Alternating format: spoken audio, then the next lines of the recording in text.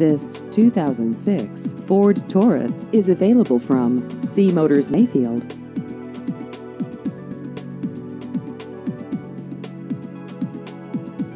This vehicle has just over 105,000 miles.